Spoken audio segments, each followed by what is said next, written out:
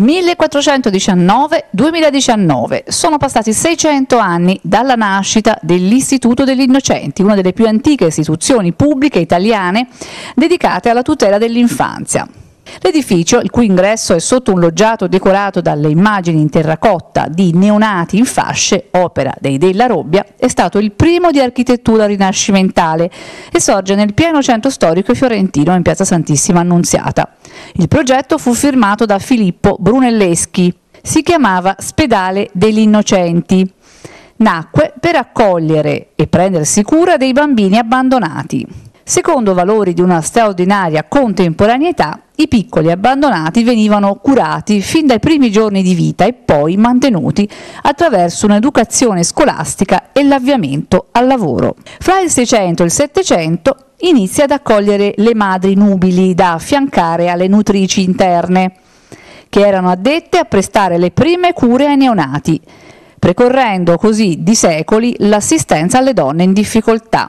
Negli anni fu istituito anche un sussidio destinato a queste giovani donne per dare loro un aiuto concreto per poter vivere anche fuori dall'istituto. Il complesso di Piazza Santissima Annunziata evolve in continuazione. Nel 2016 è stato inaugurato il Museo degli Innocenti e segue i cambiamenti delle attività svolte in favore dei bambini e delle loro famiglie. Insomma, un modello universale di tutela dell'infanzia.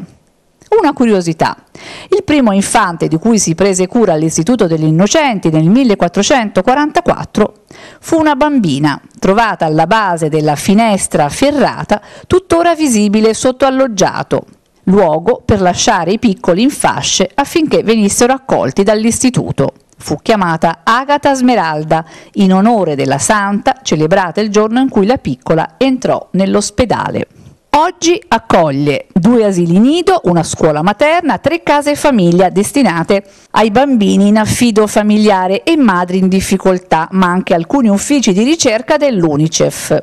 Con la legge 451 del 97 l'istituto è divenuto Centro Nazionale di Documentazione e Analisi sull'infanzia e l'adolescenza, punto di riferimento nazionale ed europeo per la promozione della cura dei diritti dell'infanzia.